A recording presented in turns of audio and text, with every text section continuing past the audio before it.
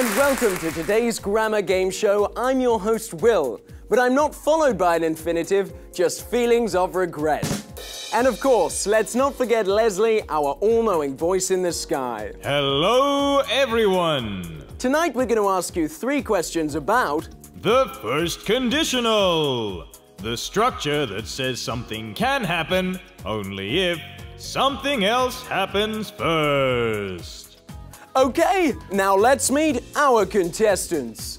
Hello, Will. My name is Sean. And contestant number two. It's nice to meet you. I'm Levington.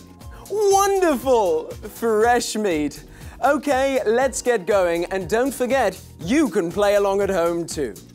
Our first round is an odd one out round. Which of these statements about the first conditional is not true?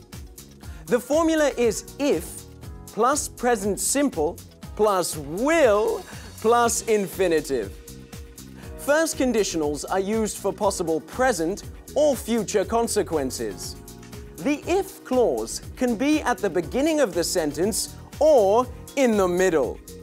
You can use the present simple, continuous, or perfect tense in the if clause.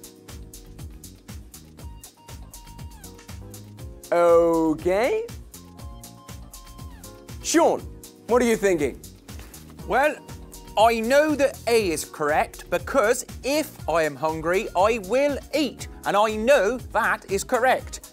And I'm pretty sure that D is correct, but I don't know about the others. Good thinking. Levington, how about you? Well, I'm confident that B is true because I remember reading that even though we use a present tense, it has a future meaning. For example, if I stay the extra day, I will be late next week. And I'm certain you can put if in the middle, I will be late if I stay the extra day. But I don't know about the others. Okay. Last chance. Anyone? No? Okay. Leslie? They're all correct.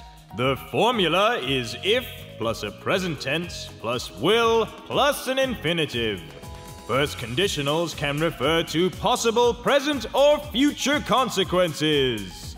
The if clause can go at the beginning of the sentence or in the middle. And finally, it is possible to use the present simple, continuous, or perfect tenses. For example, if I play football, I will be healthy. If I'm playing football, I will be sweaty. And if I have played football, I will be tired. Whoops! No points for you guys. You should know if you're on the Grammar Game Show, you won't be able to trust a word we say. Okay, on to our next question. We just said that the first conditional uses if in the conditional clause and will in the main clause. But is it also possible to use will in the conditional clause? Sorry, I pressed that by mistake. I've no idea. The answer is no. Trust me. You just said we can't trust a word you say. No, that was before.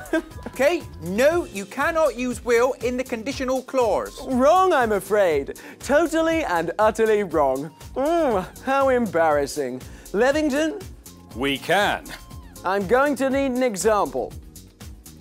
If Sean will keep trusting you, he won't get any points. nice! and topical. Great.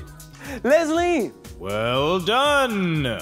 Will can be used in the conditional clause when a person is being insistent or showing irritation at someone. Another example would be if you will leave the windows open when you go out, you will get burgled. Levington, 10 points for you. Okay, last question. How can we make a first conditional more formal? We have to replace if with a word, either should or had. You'll have to choose, I'm afraid. I would choose should if I were you. Trust me. Aha! The answer is had. Leslie, Sorry, Sean, not quite right. We do replace the if, but with should. For example, if I go becomes should I go. And don't forget that in a negative, we use not instead of don't. For example, if I don't go, should I not go?